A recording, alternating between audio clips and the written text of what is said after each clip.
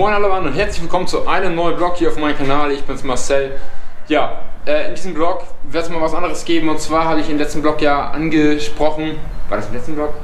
Im vorletzten Vlog hatte ich angesprochen, dass unsere Heizung, die ihr hier im Hintergrund seht, die neue ETA Scheitholzheizung, dass der Heizungsbauer da irgendwie eine Fehlplanung gemacht hat und ein Edelstahlrohr doch nicht geht. Deswegen musste jetzt ein äh, gemauerter Fertigschornstein rein oder Fertigschornstein. Äh, gemauert ist in dem Sinne ja gar nicht, er ist bloß zusammengesetzt und ja, der mit Zementmödel und den Spezialkleber, der für die Schamottrohre da ist, verklebt. So und ähm, ja, ihr seht jetzt im Hintergrund ähm, die beiden Paletten, die sind eben gekommen mit dem LKW. Vielleicht schon im Titelbild gesehen, der LKW war nämlich da. Der Schornstein kommt von der Firma Schreier hier. Schornsteine fürs Leben, das ist ja schon ein guter, guter Slogan. Und ähm, ja, wir wollen jetzt wollen die Dinge jetzt einmal auspacken hier, die Paletten zusammen. Ich mache die mal auf, ich habe ein Messer dabei. Gucken uns das einmal an, was da alles dabei ist.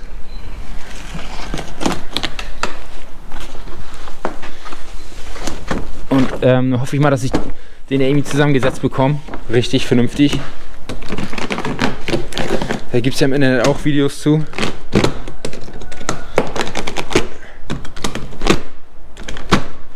Deswegen, ich glaube, das sollte eigentlich kein Problem darstellen. So ein großes Hexenwerk wird das nicht sein.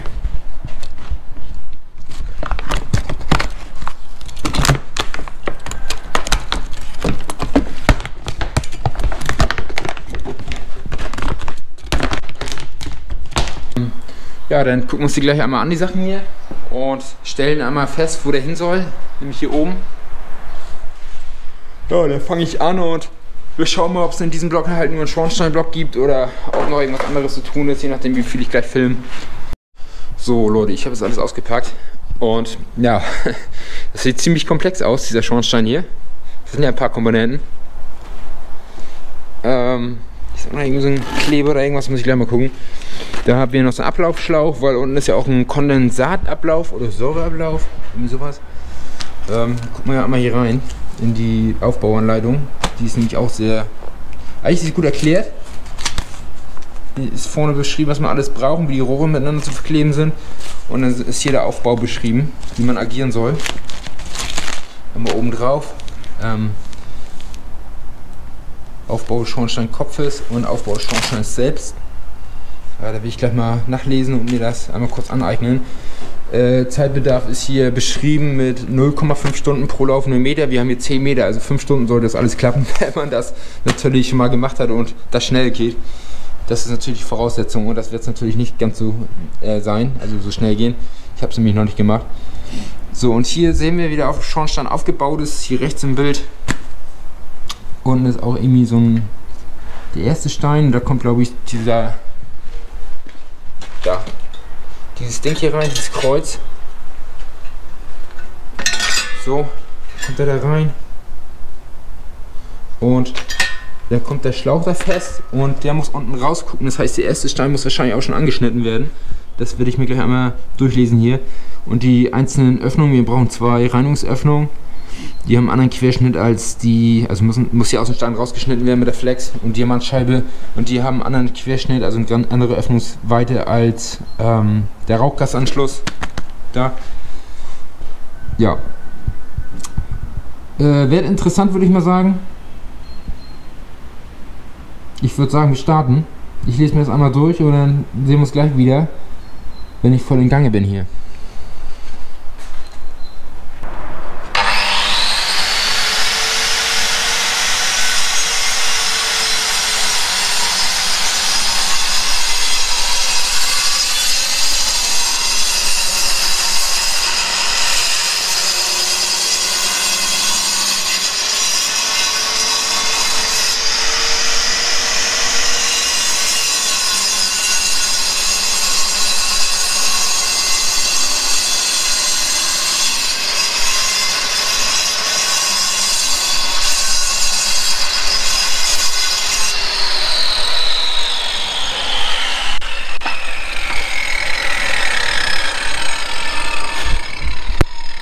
So, wir machen jetzt gerade den Ausschnitt für die Reinigungstür.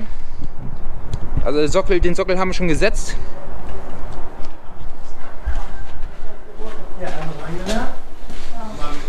So, hier unten haben wir den Sockel. Da ist ein Kondensatorablaufhalter mit bei, mit so einem Schlauch. Der soll gedreht reingelegt werden, damit da so eine Siphon, Siphon entsteht. Wegen Gerüche wahrscheinlich. Und vielleicht wegen Zugluft, dass er nicht unten Luft zieht. Naja, auf jeden Fall ist das hier schon reingekommen. Unten haben wir einmal Isolierung untergemacht. Ähm, eine, Feuchtigkeitssperre und dann halt einmal Beton ausgeglichenen Stein gerade raufgestellt. So, und jetzt kommt gleich der erste, erste Stein, wo die Wartungsluke drin ist. Und dann kommt dementsprechend die, ja, die ganzen Steine rauf, bis oben dann der Stein mit dem Rauchrohranschluss rankommt. Das filme ich aber gleich nochmal. Ähm, ja, also eigentlich ist das schon ziemlich logisch hier und gut erklärt in der Anleitung. Das sollte eigentlich ohne Probleme klappen hier. So, wir filmen jetzt mal weiter und zwar ist es jetzt, ich weiß nicht, 17 Uhr irgendwie sowas. Ähm, oben auf dem Strohboden angekommen. Ihr, se ihr seht, ähm, ist durch die Decke durch der Schornstein, guckt oben schon raus.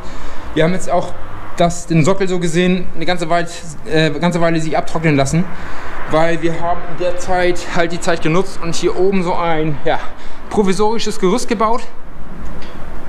Standsicherheit ist auf jeden Fall gegeben, weil hier zwei auf senkrecht stehende 10x10 Hölzer mit diesen Querstreben, also Querhölzern da miteinander verschraubt sind, durch dicke Schrauben. Äh, ja, zwei Paletten oben drauf, da drauf nochmal Bretter. Bisschen im Provisorium hier, damit wir halt da oben hinkommen, zur Decke. Oben kommt er dann raus, wo der Nagel da zu sehen ist. Und ja, wie, ihr seht äh, die Gewindestange, also da ist so ein Versteifungsset mit drin oder mit bei auf 6 Meter Länge. Und wir haben jetzt angefangen, ähm, halt bei der Zwischendecke hier unten schon ein ganzes Stück bei dem Rauchrohranschluss die Gewindestangen mit reinzumachen. Die konnten jetzt hier auch ein bisschen abtrocknen. Der Schornstein insgesamt, weil er ist sehr wackelig. Wenn ich mal so ein bisschen dran wackel, man sieht, dass er sich so ein bisschen bewegt. Und ähm, ja, hier an der Zwischendecke darf er auch nicht mit Beton befestigt werden. Das heißt, hier darf es nicht ausgegossen werden. Der muss wirklich freistehend sein. Steht in der Gebrauchsanweisung, um halt Schwingungen auszugleichen. Nicht, dass sich hier irgendwas bewegt oder durch Wärme, durch Thermik hier eine Ausdehnung irgendwie stattfindet. Was eventuell ja anscheinend vorkommen kann. Und deswegen, wir dachten auch, wir können das hier vergießen und ein Brett vor, verschalen so gesehen und dann Beton reinlaufen lassen. Ist aber nicht, dürfen wir nicht. Das heißt, wir machen jetzt noch einen Stein rauf und kommen erstmal Keile rein und später müssen wir hier irgendwie Rockwolle reinstecken und das dann ausgießen, weil von unten soll ja das Loch auf jeden Fall dicht. Und aber so, dass dann halt der Schornstein an sich diese, ähm, diese, wie heißen Steine noch? Diese Mantelsteine, ähm, dass die halt nicht Berührung haben mit der Zwischendecke hier. Ja, das ist so der Plan jetzt. Wir machen jetzt mal weiter. Hoffen, dass wir halt heute, wie gesagt, es ist glaube ich 17 Uhr schon, dass wir halt heute noch in der ersten Ebene ankommen mit den Gewindestangen, mit dem Versteifungsset. Da wird immer dann so ein flüssiger Mörtel, kann ich gleich nochmal zeigen, wie wir das machen. Mit reingegossen flüssiges Material, hier ist alles mit bei. Und ja, dann soll das natürlich fest werden. Und das kannst du dann über Nacht in der Hoffnung, so zumindest, bevor wir gleich, also wenn wir den Stein draufgesetzt haben, weitermachen, kommt da noch ein Keil rein, sodass wir schon mal ein bisschen fix, das fix haben, dass er sich nicht bewegt, wenn wir hier oben dran ruckeln. Genau, und hier diese Zwischenrohre, halt diese Keramikrohre werden halt mit Spezialkleber mal eingeklebt und dann mit so einer Spezialbürste, die dabei ist, mit so einem Schwamm einmal feucht machen und dann muss man von oben mit einer langen Stange den halt durchschieben, sodass das halt alles hier von innen ähm, sauber ist und äh, abgewaschen ist, so gesehen, ne? von, den, von außen, von den Innenwänden des, Inwe von des Keramikrohres hier. So, wir machen mal heute weiter. Äh, heute ist recht, richtiges Regenwetter draußen. Ich höre das vielleicht prasseln auf dem Dach. Und ähm, wir sind zum Glück unterm Dach und können hier weitermachen oder ich. Und ich will hier einmal kurz den Fortschritt zeigen, den wir gestern noch gemacht haben zum Schluss. Wir sind nämlich jetzt schon ein ganzes Stück weit über dem Boden hier angekommen. Äh, ja, das Rohr ist hier. Das Innenrohr, Keramikrohr. Ich mache jetzt hier weiter und zwar werde ich jetzt als nächsten Schritt Mantelsteine oben draufsetzen und dann werde ich Kleber reinmachen mit den Klammern und dann das nächste Rohr und dann kommt wieder ein Stein davor kommt noch die Gewindestange. Naja, ihr wisst vielleicht, was ich meine. Ich lasse die Kamera jetzt mal kurz ein bisschen laufen gleich. Stell die da oben hin. Dass ihr nochmal so einen kleinen Ausschnitt seht, äh, wie ich das mache. Es soll jetzt auch keine Anleitung sein, dass es genauso gemacht werden soll und ihr das auch machen sollt. Das soll eher so ein Erfahrungsaustausch sein vielleicht. Oder ja, wie halt mein Erlebnis hier bewahrbar am Schornstein. Hochziehen, hochmauern. Richtiges Mauern ist es ja nicht. Das ist ja eigentlich fertig Steine aufeinandersetzen ja, das schafft auch ein bisschen was hier. Ihr seht, wo wir gestern noch angekommen sind. Und dieses Gerüst, was wir uns gebaut haben, das sollte ja eigentlich gleich relativ gut funktionieren, mal drauf rumzulaufen. Denn wir wollen da oben ja aus der Decke rauskommen, wo der Faden hängt.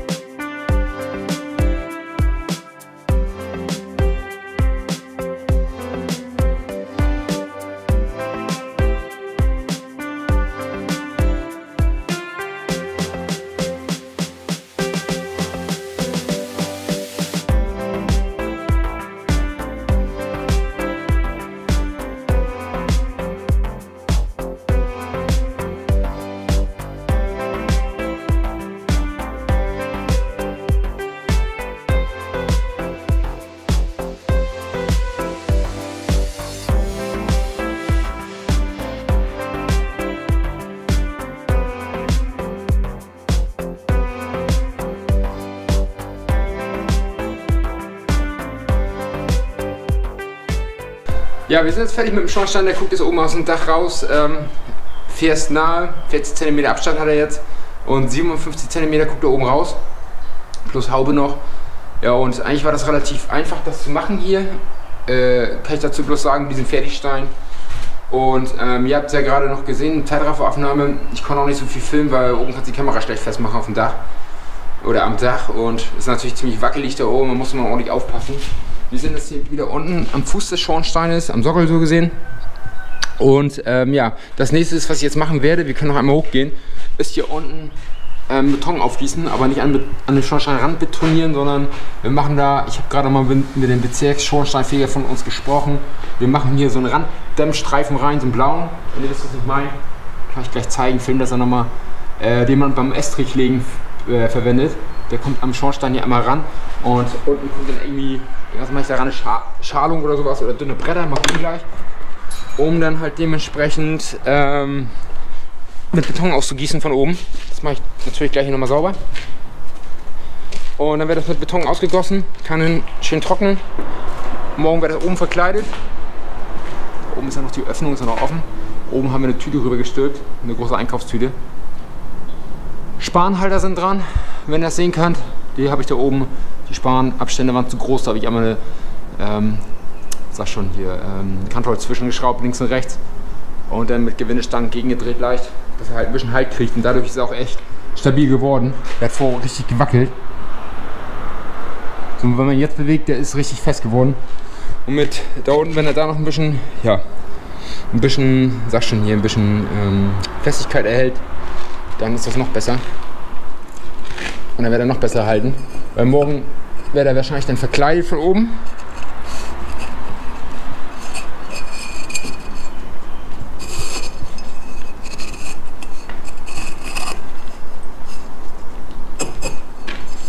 Ja, morgen wird er von oben dann wahrscheinlich verkleidet, dass es dicht gemacht wird. Und so sieht es von hier aus. Oben ist er ganz leicht schief geworden. Dooferweise, weil oben konnte man wirklich nicht mehr mit der Wasserwaage ran und schlecht hämmern und ich musste auch auf dem Dach gestern sein, oben sitzen. Und von hier unten saß Anke dann oben drauf und hat oben äh, ein bisschen festgehalten, meine Freundin. Und die Flur einmal gleich gestrichen und so weiter und so fort. Und oben muss er dann halt noch verkleidet werden, damit der Stein keine Feuchtigkeit zieht. Gut, aber das ist dann morgen der Fall, dass das passieren wird. Wir machen jetzt hier gleich nochmal zusammen Beton rein und so ein bisschen sauber. Das ist unsere Aufgabe und meine Aufgabe jetzt gleich. Einmal das Schmull hier wegbringen. Wir haben auch noch was über. 10 Meter hatten wir insgesamt. Ähm, 9,20 Meter. So, wir haben aber noch drei äh, Außenmantelstücke, also Mantelsteine über und so ein Innenrohr. Das andere hatte ich abgeschnitten. Ein Stück. Das ist noch über. Komischerweise. Ja. 9,20 Meter bis zum Vers war's und jetzt guckt er 57 cm oben raus oder oben rüber. Ähm, eigentlich, eigentlich hätte das hinhauen müssen mit 10 Meter. Oder die haben zu viel geliefert. Ich muss das nochmal nachzählen mit dem Stein. Ja, wenn die welche zu viel geliefert haben, sagt man natürlich jetzt, ähm, sagt man jetzt natürlich nicht nein. Also das ist gut, weil ich kann wieder umtauschen und dann kriege ich die wieder gut geschrieben. Hoffe ich mal bei Team. Sollte eigentlich möglich sein. Gut, wir machen das einmal mit einem Randdämmstreifen. Ich packe den gleich da rein und ein Schallbretter ran oder irgendwas anderes. Mal gucken, was ich da nehme. Einmal einkeilen mit einem Stück Holz, dass sie nicht runterfallen. Und dann machen wir ein Fuder Beton fertig hier, äh, ein bisschen was und dann gießen wir das voll. So, ähm, jetzt habe ich den Randstreifen einmal reingemacht. Das ist diese Rolle da. Ist hier einmal rumgekommen. Und jetzt werde ich Beton vorbereiten. Das lassen wir oben reinlaufen. Unten kommen noch Schallbretter einmal schnell vor und ja, dann wird das ausgegossen. Von unten sind Stützen gegen ihr kennt von hier. Die Ständer, die hier stehen, die Holzstücke. Und ich habe jetzt Mörtel hier fertig gemacht. Ziemlich flüssig. Einmal zum Vergießen von oben. Der Randdämmstreifen ist dran. Hier ist die Wand ziemlich stark oder die Decke ziemlich dick. Deswegen ist er, hat er von der Stärke her nicht gelangt. Deswegen habe ich jetzt nochmal oben ein Stück raufgepackt. Dann müssen wir gleich vorsichtig reinkippen, damit das nicht dahinter läuft. Besser wäre noch ein Stück Kleben drauf. Ich hole da nochmal eins. So, hier sind die Lichtverhältnisse nicht ganz so optimal. Die Lampe da oben bringt nicht viel, vor allem weil die Palette davor ist. Naja, wir fangen mal an. Vergießen das.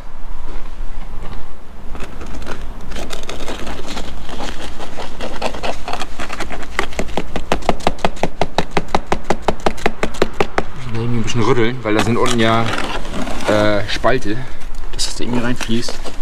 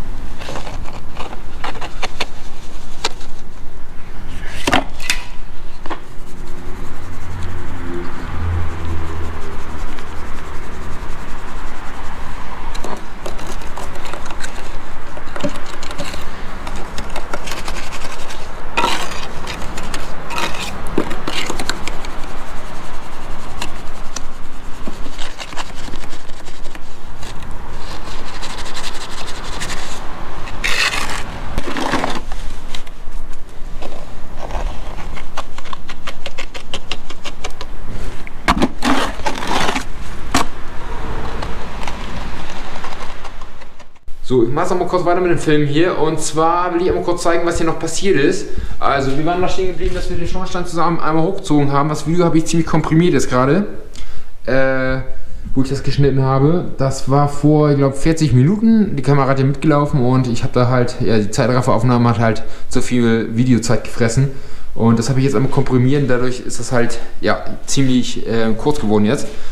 So, der Sockel hier unten, der Schornstein, steht. Er ist oben auch verkleidet. Mein Bruder hat das noch gemacht am Wochenende. Und ja, der Sockel hier unten, der hat seine Reinigungsklappe reinbekommen. Oben ist ja auch eine, also diese Blechdose, die davor ist, oder diese Blechtür. Und hier oben ist das Abgasrohr. Da muss da hinten noch diese äh, Steinwolle rein. Das könnt ihr aber dann machen, die Heizungsbauer. Oder die Monteure hier. Äh, und das einmal zurechtschneiden. Weil ich weiß nicht, welchen Durchmesser das Rohr da. Oder ich weiß ich schon welchen Durchmesser das Rohr hat, aber es ist besser, wenn die das dann gleich machen, da, wenn sie wenn die das Rohr anschließen, das Abgasrohr. Die Frage war halt auch, äh, die wir uns gestellt haben, dann, was da, wo ich nochmal nach, äh, nachgefragt habe, Rücksprache gehalten habe, ob wir den Anschluss hier machen, dieses Abgasrohr, äh, also den Abgasflansch oder halt hier oben hin. Und ich habe mich jetzt für hier entschieden, weil das halt besser ist. Dann braucht man einen Bogen weniger und ja, da kommt es auch ein bisschen besser aus, sieht ein bisschen besser aus, finde ich, als wenn das Rohr jetzt hier vorne hängt. Na, ist Geschmackssache ähm, ist aber praktisch, man halt einen Bogen weniger. Die Monteure haben hier noch weiter äh, verrohrt jetzt. Das ist halt gepresst, das geht ja relativ zügig dann. Ja, hier oben auch. Und die Heizung steht jetzt final an ihren Punkt, wo sie stehen soll, später auch. Das mit den Pufferspeichen, mit den Deckeln, da ist immer da ist noch nichts passiert, äh, die sind auch noch nicht fertig. Wir müssen noch irgendwie das machen, so dass der Deckel oben rauf geht, weil auf diesen Deckel, der da oben rauf gehört normalerweise. Warte mal, wo haben wir sie? Da stehen sie da vorne. Da sind diese Deckel, die gehören normalerweise drauf und die passen jetzt nicht mehr drauf. Ich weiß nicht, ihr könnt aber in die Kommentare schreiben, was würdet ihr denn machen. Ich würde auf jeden Fall jetzt davon äh, da, da mich beschweren und sagen, ich will Preisnachlass haben. Weil wenn ihr euch das mal da oben anguckt, da, wie das dazwischen gequetscht ist, weil das ist ja, ja nichts Tolles, sag ich jetzt mal. Äh, weil er hier so reingepresst worden ist. Die Isolierung da oben wurde ein Stück abgeschnitten und das ist meiner Meinung nach nicht, ja, nicht das Gelbe vom Ei. Leider. Wir wollten eigentlich was Gutes haben im Vorzeigeobjekt und Heizung und dass wir jetzt so so ein, ich sag mal, so, so ein Improvisorium hier stehen haben, gefällt mir eigentlich überhaupt nicht. Äh, also Anko und ich, wir sind uns eigentlich sicher, wir hätten dann lieber, sag ich mal, 1500, 2000 Euro mehr ausgegeben für so einen dritten Speicher hier, weil die unterscheiden sich im Preis nicht, nicht sehr doll. Wenn man kleinere nimmt zum größeren. Dann hätten wir aber lieber drei Speicher gehabt, die hier stehen und ein bisschen mehr Verrohrungsarbeit hätte dann geleistet werden müssen. Bloß, ähm, ja, dann wäre das vernünftig gewesen und ich sag mal so, hier die Monteure waren das drei Tage, über drei Tage dabei, die Pufferspeicher alleine reinzustellen und dann halt die finale Position festzustellen mit mir zusammen. Und da hätte man, das haben sie im Angebot auch mal reingeschrieben, da hätte man normalerweise einen Tag für gebraucht. Da haben sie auch im Angebot so aufgenommen, mit einem Tag haben sie da gerechnet. Und da, da sind sie jetzt über drei Tage bei gewesen. Das geht eigentlich, eigentlich gar nicht sowas. Ja, dann, ich weiß nicht, so Membran hier, ob der nicht auch verkleidet werden muss. Ich bin jetzt kein Experte, ich habe mich damit vorher noch nicht auseinandergesetzt mit diesem Thema. Aber die Verrohrung der hin ist isoliert und äh, der Membran selbst nicht. Der ist ja auch ähm, Kupfer, beziehungsweise hier der Membran besteht aus Stahl, das Gehäuse. Das ist ja auch, ähm, ja, leitet die Wärme.